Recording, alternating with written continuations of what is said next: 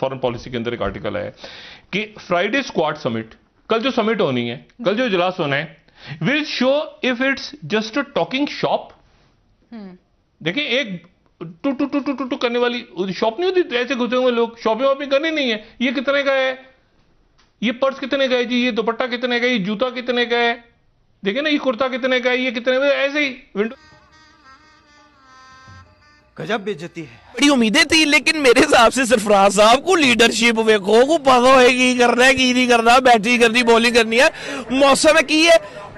मेरे पास कोई अल्फाज नहीं है मुझे माफ़ कर दे आप लोग सारे मुझे छुट्टी दे दें। हेलो दोस्तों कैसे हैं आप सभी? दोस्तों आज हम जो है पाकिस्तानी मीडिया का एकदम लेटेस्ट वीडियो देखने वाले हैं। लेकिन दोस्तों सबसे पहले हम डिस्कस करने वाले हैं कि पाकिस्तानी मीडिया इंडिया के बारे में क्या डिस्कस कर रहा है। दोस्तों, पाकिस्तानी मीडिया कभी भी इंडिया के बारे में पॉजिटिविटी की बातें जो है डिस्कस नहीं करता है बल्कि ये कहता है कि इंडिया की इकोनॉमी डिप्लोमेसी बहुत ज़्यादा जो है अच्छी है, जिसकी वजह से इंडिया ने पाकिस्तान को आइसोलेट कर दिया। तो दोस्तों, इसमें कोई शक नहीं है, क्योंकि इंडिया इतना आगे जा चुका है कि पाकिस्तान अब उसका मुकाबला किसी भी फ़ील्ड में नहीं कर सकता। तो दोस्तों, चलिए वीडियो देख लेते हैं। वीडियो देखने के बाद बाकी सारी बातों पर डिस्कस करेंगे। चलिए जो अहम वाक्य है, वो ये होने जा रहा है कि कल मोदी बाइडेन और प्रेमियर होगा और साथ स्कॉट मॉरिसन ऑस्ट्रेलिया के। पहला इजलास हो रहा है क्वाड का और वो हो रहा है ऑनलाइन। अच्छा ऑनलाइन से मुराद ये हाँ कि वर्चुअल अच्छा अब उसका जो एजेंडा है वो एजेंडा बड़ा अजब सा है। वो एजेंडा ये है कि चारों शख्सियात बात करेंगी कि ये क्वाड जो है ये क्वाड वो ज़ाहिर है कि 2007 में जब बनी थी तो उस वक्त प्रेसिडेंट बुश थे। इसमें डिक चेनी बड़े बड़ा एक्टिव थे। हम्म। डिक चेनी बहुत एक्टिव थे और उस वक्त ये क्वाड बनी थी। लेकिन फिर उसके बाद जो है वो जापान के जो वज़ीर अजम थे उस वक्त के हुबे वो उनको रिज़ाइन करना पड़ गया। जो ऑस्ट्रेलिया के वज़ीर अजम थे वो भी चले गए ओवर्ड अच्छा तो यहाँ पर जो है ना यहाँ पर मसला ये हुआ कि ये ख़त्म हो गई दफन हो गई क्वाड की ये फिर अमेरिका और बरतानिया अमेरिका और भारत के दरमियान ये मलाबार एक्सरसाइजेस तक महदूद हो गई। अभी क्वाड ज़िंदा हुई है, साल, डेढ़ साल पहले। क्वाड का जो पहला इजलास हो रहा है, सरबराही इजलास, पहला, उस सरबराही इजलास का एजेंडा बड़ा अजीब है। वो एजेंडा यह है कि कोविड 19 से कैसे निपटेंगी दुनिया? अच्छा। दूसरा यह है कि मीशत, ठीक है? हम्म। और तीसरा जो है, वो वो भी कुछ इसी किस्म का है। तो तीसरा एजेंडे में मतलब मीशत कैसे हो, तजारत कैसे रखी जाए, और ये है कि आपस में ताल्लुक कैसे हों, और वगैरह वगैरह किस्म की बात। अच्छा सॉरी तीसरा है मौसम मौसमियाती climate change sorry important issue है क्लाइमेट चेंज अब ये तीन इशू हैं, चाइना उसमें है ही नहीं।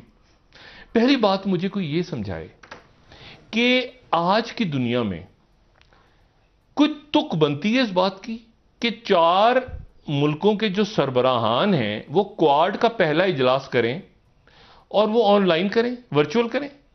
तो वो जूम पे तो चले पब्लिक के लिए नहीं कर रहे मगर इस यानी आज की दुनिया में जहाँ रशिया के साइबर हैकर्स और ईरान के और पूरी के। दुनिया के और नहीं साइबर सिक्योरिटी हमारी हमारा भी साइबर वॉरियर्स ठीक ठाक हैं। हम करेंगे नहीं ऐसी हरकत लेकिन बारह सुनने में क्या है? अगर कुछ चुपके चुपके सुने हमारा आप देखें पूरी दुनिया पूरी दुनिया के जो साइबर अथॉरिटीज हैं वो तो लगी होंगी। हैक नहीं करेंगे। सुन तो सुन तो सकते हैं ना।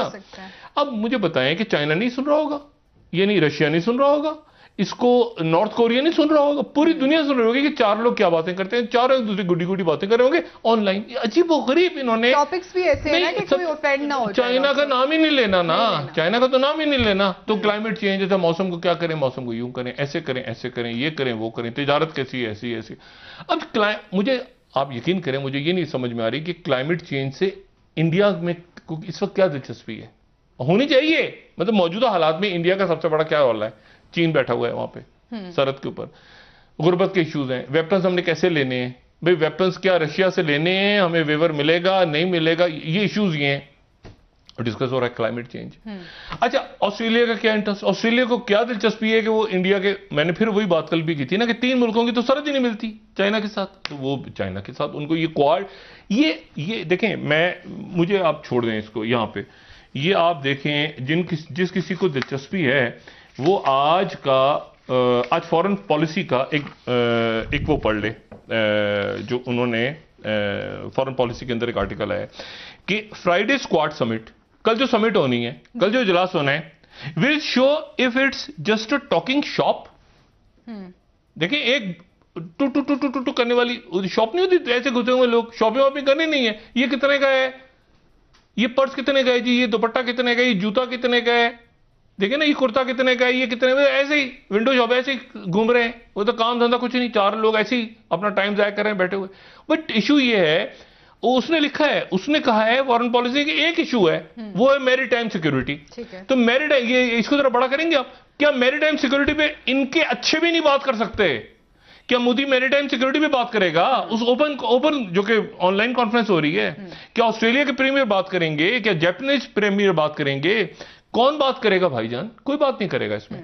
अच्छा एक बात दूसरी बात कि यहाँ पर इस इस, देखिए, एक एक होता था, एक दौर होता था, पता नहीं हमने शायद गलत, ये जब इतिहाद वगैरह बनते थे ना, नेटो का अलायंस हो गया, या इवन सार्क के पीछे बड़ी मेहनत हुई थी, या आप समझें कि आसियान कंट्रीज़ हैं, या या जीसीसी है, या ये जब एक इतिहाद बनते थे, इनके लीडर्स इनके रहनुमा बहुत सोच समझ के बैठते थे, फिर कहते थे अलायंस बनना है, वो अलायंस फिर चलते थे बड़े अरसे तक, और वो चल रहे हैं, बहुत से ये अभी पिछले चंद सालों में ये G five G five plus one G eight G eight G nine G nine plus two ये अजीब गरीब, एक आपको तो क्वाड प्लस भी आ रहा है बीच में, क्योंकि सिंगापुर कहीं दरमियान में घुसा लो, उसको वो घुसना नहीं चाह रहे।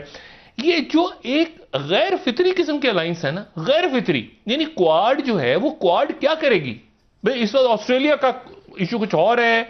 जापान के जजायर के ऊपर चीन घुसा हुआ है। वो ताइवान के लिए कोई बात करने वाला नहीं है। उनको उधर छोड़ा हुआ है।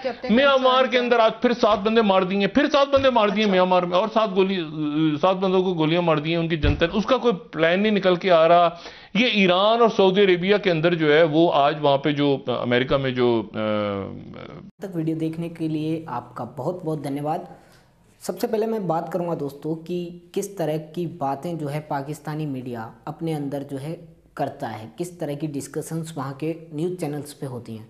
तो दोस्तों उसके अंदर क्या होता है कि वहाँ पे हमेशा एक या दो चीज़ें जो हैं वो बहुत ज़्यादा डिस्कस होती हैं और वो होता है, सबसे पहला जो उनका मुद्दा होता है, वो होता है कश्मीर का। कि भाई कश्मीर में ये है, कश्मीर में वो है, कश्मीर में ये हो रहा है, कश्मीर में वो हो रहा है। लेकिन दोस्तों, इनको एक्चुअल जो ग्राउंड रियलिटीज़ हैं, वो कहीं भी पता नहीं होती हैं। किसी भी एरिया की इंडिया की जो ग्राउंड ग्राउंड रियलिटीज़ हैं, वो इनको पता नहीं है। दूसरा, ये दोस्तों, बात करते हैं इंडिया की फ़ॉरन पॉलिसी और इकोनॉमी की। तो मैं बात करूँ फॉरेन पॉलिसी की तो आप सभी जानते हैं कि इंडिया की फॉरेन पॉलिसी आईएफएस ऑफिसर्स जो हमारे चुन के जाते हैं, वो ज़्यादा जो है उसको वाइब्रेंट तरीके से चलाते हैं। दोस्तों, आप सभी जानते हैं कि बहुत ही हार्ड जो है एक प्रोसेस होता है एक आईएफएस ऑफिसर बनने के लिए और काफ़ी ज़्यादा जो है इंटेलिजेंट होना पड़ता है उस चीज़ के लिए। तो वो लोग हमारे देश की फॉरेन पॉलिसी को लीड करते हैं और वही चलाते हैं।